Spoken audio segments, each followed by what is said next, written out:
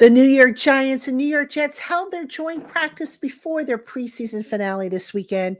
And without question, it was a Jets kind of day. Quarterback Aaron Rodgers and company dominated the Giants, and in particular, the defensive secondary, where concerns continue to linger about the Giants' cornerback depth.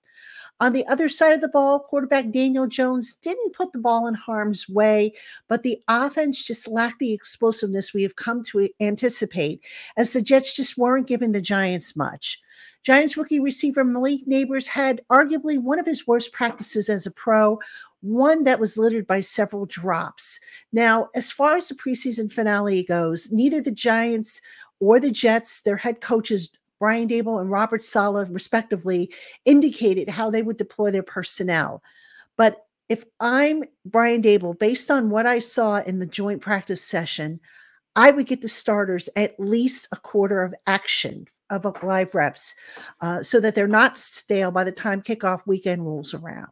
The Giants and Jets kick off their preseason finale on Saturday at MetLife Stadium. Kickoff is set for 7:30 p.m.